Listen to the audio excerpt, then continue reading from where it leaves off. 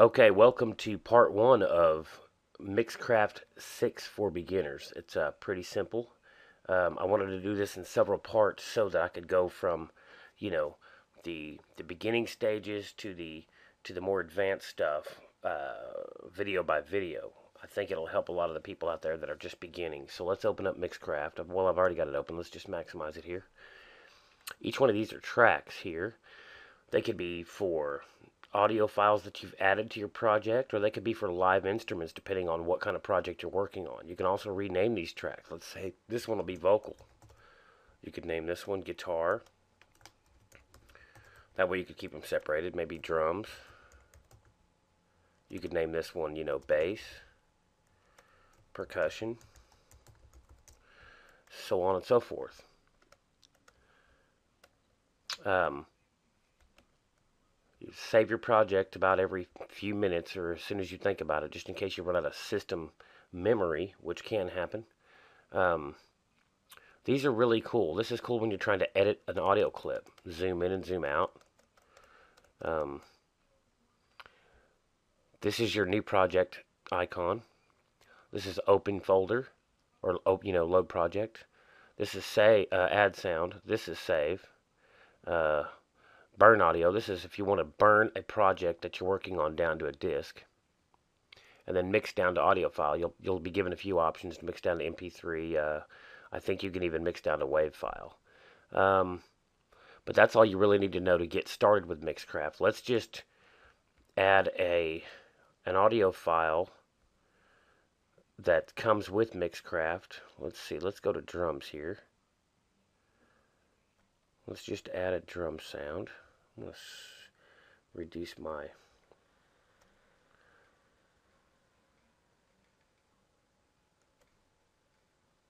Let's just work with that. Sure, let's change it to 90. Let's zoom in just a little bit. Now, this is 70s Funk Drum Fill 12. The tempo is 90, one bar. That means this is one full bar at 90 beats per minute okay? You can hit this and double that. So now it's two bars, three bars, and four bars.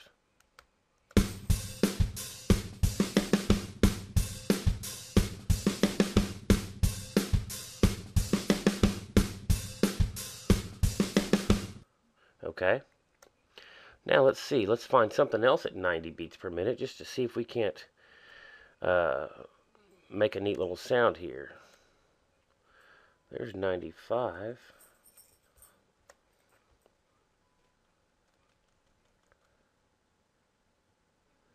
This is all going to be faster probably than 90.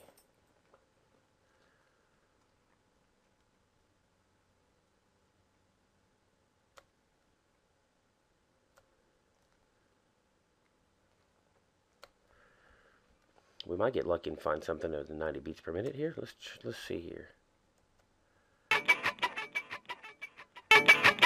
Okay, let's add that. We're going to do that in the key of E. Okay.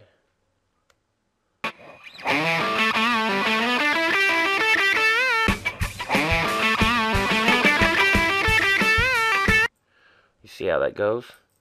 Let's reduce the sound on the guitar here, but I don't want the guitar to start for two bars. Let's go back two bars on the lead guitar riff. The cool thing about this zoom is you can really get your timing just absolutely perfect. By zooming in, you see that's the end of this bar. See those little arrows? I want to make sure my guitar riff starts on time. Okay, so let's try this. Now this is only this right here is only lasting for one bar, so I want to make sure that lasts for two bars until the beginning of the lead guitar. There's the end of that second bar, beginning of the lead guitar riff. Now watch.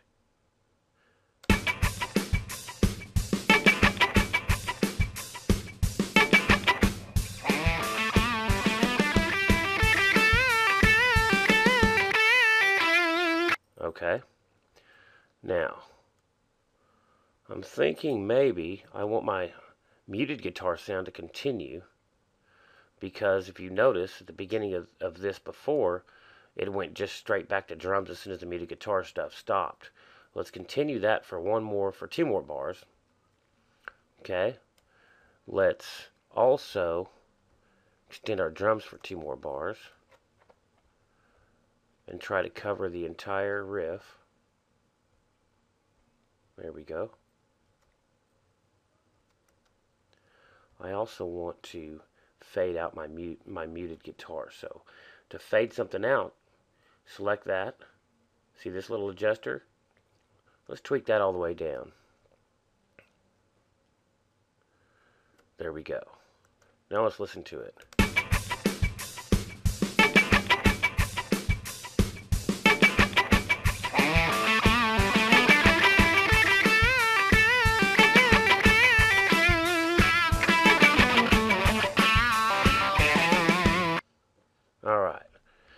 That's basically how you build a sound file, you know, build a project.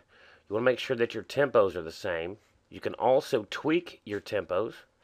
Go to Sound, Adjust Project Tempo. The problem with this, though, is it doesn't exactly always make it sound right. So you really need to have a good ear for, for what sounds right. Some instruments will not sound right when you tweak the tempo. Be very careful with tweaking the tempo any, on, any, on any vocal file, uh, any vocal track, any vocal project. Uh, let's open a, a project that I've been working on. Let's see where did I put it. Here we go. This is a pretty cool project I've been working on, and I did this to show you guys how you can make different sounds. This is a dubstep project. I want you to listen to this.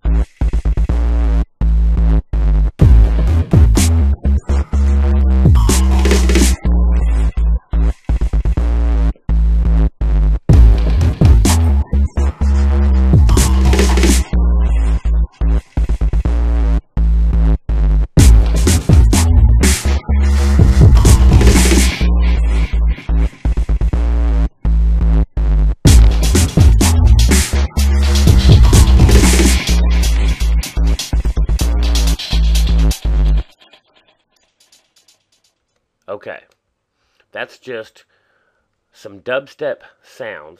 Okay, some uh, some effects right here on this top track.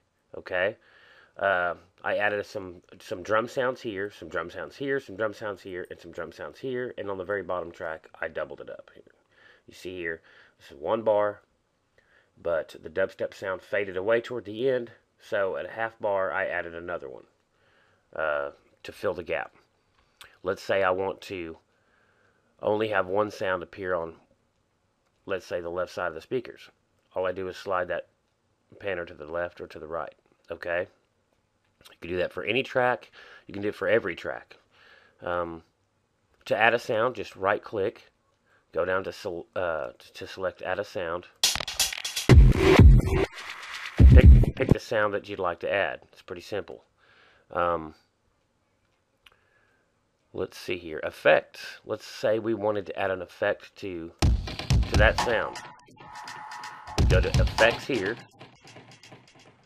and we see, what, what do we want to add? Let's say we add some reverb to that, just that one little sound clip. Now listen to it.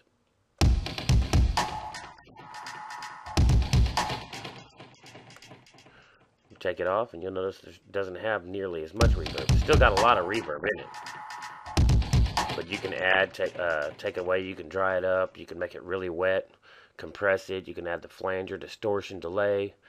Um, this is something I use a lot, the Pultronic Tube EQ. Um, you can play with that. Uh, effects are really uh, sensitive.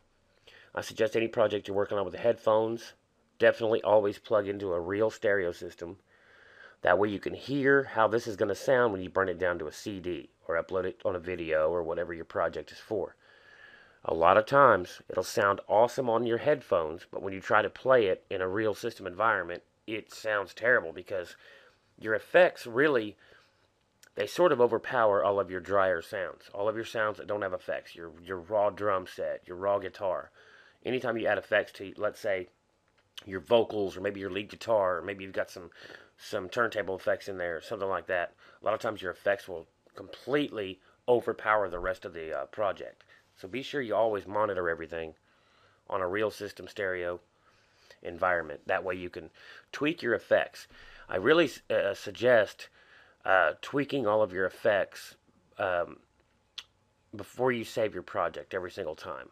Um, make sure that you've got uh, good system memory when you're when you're editing your project. You don't want to work for an hour and lose all your work because your your uh, your computer decided to crash on you. So be careful about that. That's really all that I wanted to add on this very first video.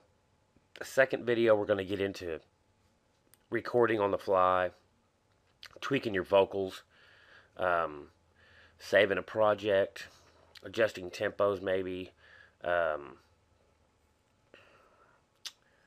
whatever else I can squeeze into that second video without just overloading your brain with a bunch of stuff that you just really maybe won't use yet or maybe you're not interested in using that. You're, I, I think that uh, learning this just a little bit at a time is what's going to really make it stick because Mixcraft uh, 6 is, it's really a super custom version of Mixcraft 5. They're a lot alike.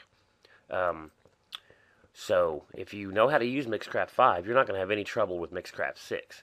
But if you're still interested in learning a few more steps uh, and a few more tricks, then um, be sure to look for part 2. Thank you for watching.